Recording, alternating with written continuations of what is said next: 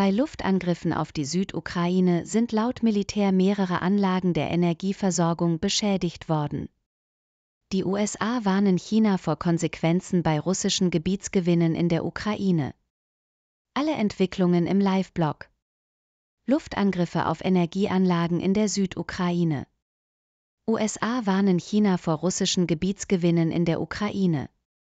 Vor dem Hintergrund des russischen Angriffskrieges gegen die Ukraine hat Bundesaußenministerin Annalena Baerbock dazu aufgerufen, mehr Haushaltsmittel für die Sicherheitspolitik bereitzustellen. Die Lage ist ernst. Wir müssen uns alle fragen, wie wollen wir die Zukunft unserer Kinder sichern, sagte die grünen Politikerin im Bundestag. Die brutalen russischen Angriffe auf zivile Infrastruktur in der Ukraine machten deutlich, dass Putin mit seinen Angriffen auf die Ukraine noch nicht am Ende ist.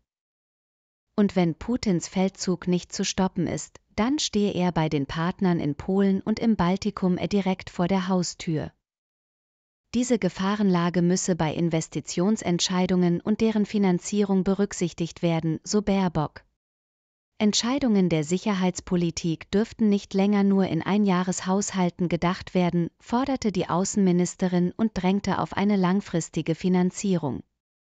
Fraglich sei, ob die er mit Regeln, die für Friedenszeiten geschaffen wurden, er zu gewährleisten sei.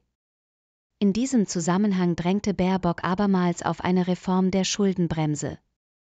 Langfristig will Deutschland gemeinsam mit der Ukraine eine Institution für den Wiederaufbau der Ukraine nach dem Vorbild der Deutschen Kreditanstalt für Wiederaufbau KfW einrichten.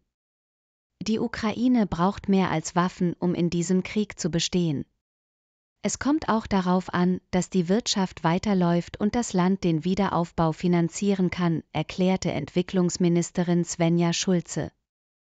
Am Mittwoch verabschiedete die Bundesregierung ein 15 Punkte umfassendes Maßnahmenpaket mit dem Fokus auf finanzielle Zuschüsse und Zinsverbilligungen für kleine und mittlere Unternehmen in der Ukraine sowie Investitionsgarantien für deutsche Unternehmen. Auch Bundeswirtschaftsminister Robert Habeck betonte, es müssten alle Möglichkeiten genutzt werden, um der ukrainischen Wirtschaft in dieser schweren Zeit zu helfen und ihr eine Perspektive zu eröffnen. Die Weltbank schätze die Kosten des Wiederaufbaus derzeit auf rund 486 Milliarden. Die Finanzminister der Europäischen Union werden am Freitag über Reformpläne der Ukraine beraten. Insgesamt gebe es 69 Reformvorhaben, sagte ein deutscher Regierungsvertreter. Das Ganze ist ambitioniert. Die EU-Kommission werde den Finanzministern die Pläne vorstellen und prüfen. Die EU hatte sich Anfang Februar bei einem Sondergipfel auf eine mittelfristige Finanzierung der Ukraine geeinigt. Die Regierung in Kiew soll im Zeitraum bis 2027 schrittweise 50 Milliarden Euro bekommen. 33 Milliarden Euro entfallen dabei auf Kredite, 17 Milliarden auf Zuschüsse. Das Gericht der EU hat Sanktionsbeschlüsse der Europäischen Union gegen die russischen Oligarchen Michail Friedmann und Piotr Awen gekippt.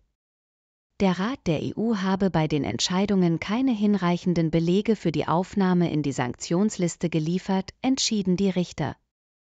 Die EU hatte die Sanktionen damit begründet, dass Friedmann und Awen russische Entscheidungsträger finanziell unterstützt und damit die territoriale Unversehrtheit der Ukraine untergraben hätten. Die Entscheidung bedeutet allerdings nicht, dass Friedmann und Aven sofort von der EU-Sanktionsliste gestrichen werden müssen. Zum einen kann gegen das Urteil noch vor dem Europäischen Gerichtshof vorgegangen werden. Zum anderen hat der Rat der EU bereits neue Sanktionsbeschlüsse gegen die beiden Männer erlassen, die nicht von dem Urteil betroffen sind.